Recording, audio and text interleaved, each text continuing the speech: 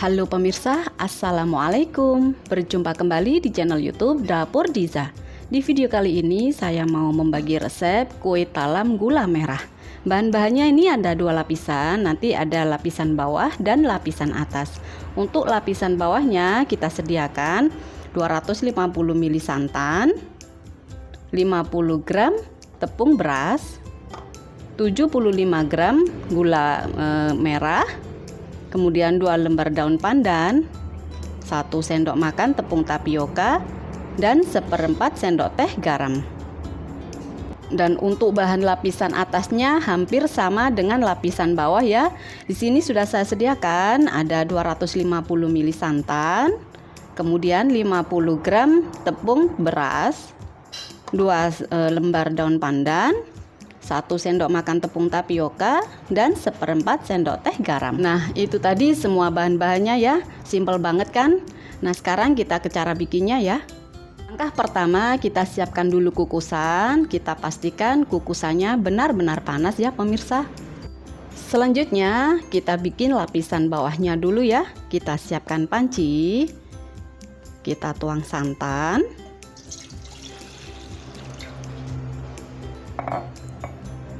Kemudian daun pandan dan gula merah.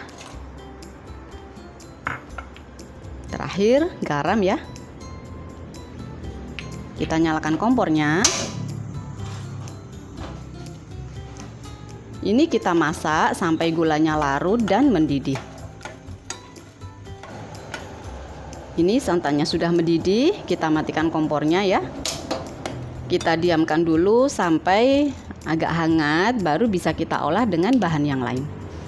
Pemirsa, ini sudah hangat, kita saring dulu ya.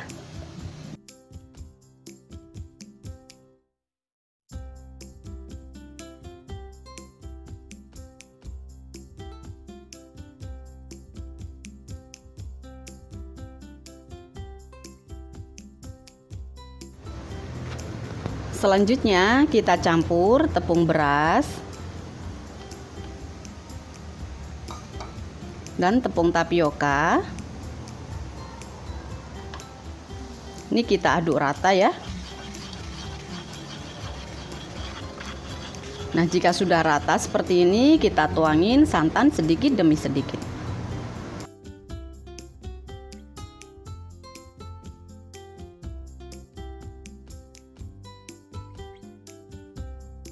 Jika sudah tercampur rata seperti ini, kita sisihkan dulu ya. Selanjutnya kita bikin lapisan putihnya ya. Ini kita siapkan panci, kemudian kita tuang santan.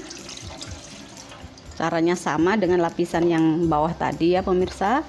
Lalu kita masukkan garam dan daun pandan. Kita nyalakan kompornya. Ini kita masak sampai mendidih.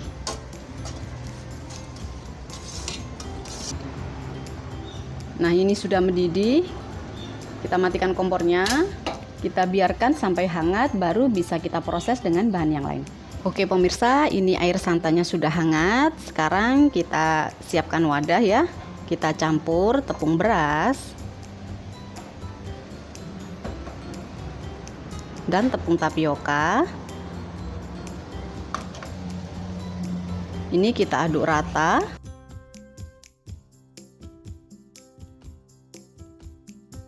Nah, jika sudah rata, kita tuangin santan sedikit demi sedikit.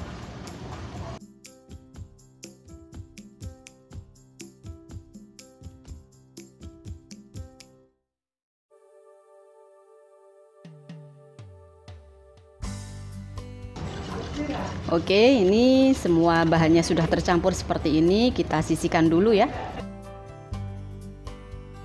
Selanjutnya kita siapkan cetakan. Di sini saya pakai cetakannya kue mangkok seperti ini ya. Sebelum kita tuang adonannya, cetakan kita kasih e, minyak goreng seperti ini. Kita olesin tipis-tipis aja supaya nanti waktu kita ambil tidak lengket.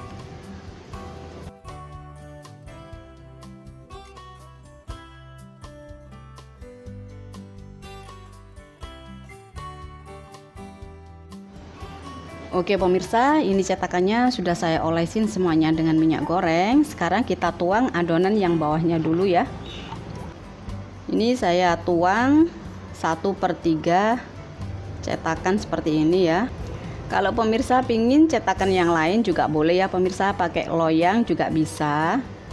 Atau bisa juga pakai cetakan seperti puding atau seperti putu ayu juga boleh.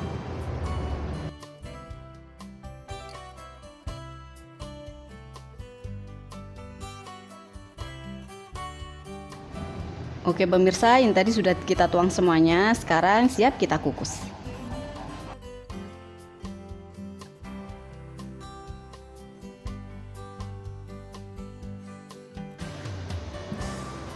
Nah, ini kita kukus selama 20 menit.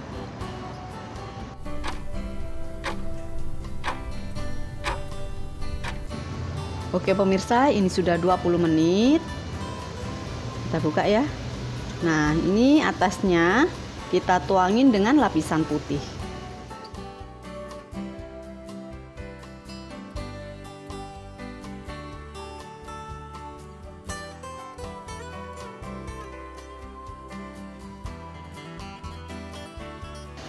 Nah, setelah kita tuangin santan, kita kukus kembali selama 20 menit.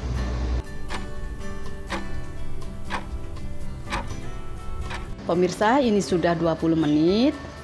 Kita buka dulu ya. Ini kita matikan kompornya. Kita tunggu sampai dingin baru bisa kita keluarkan dari cetakan. Pemirsa, ini kue talamnya sudah dingin, bisa kita lepaskan dari cetakan ya.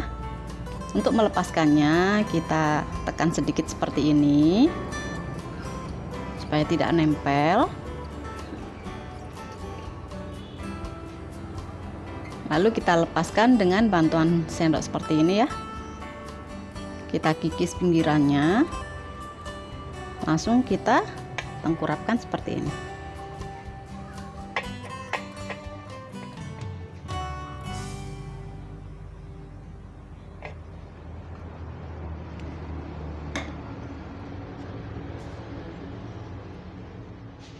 Kita ulangi.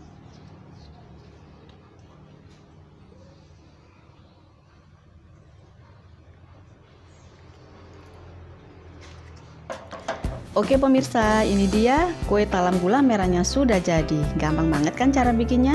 Sekarang kita coba dulu ya.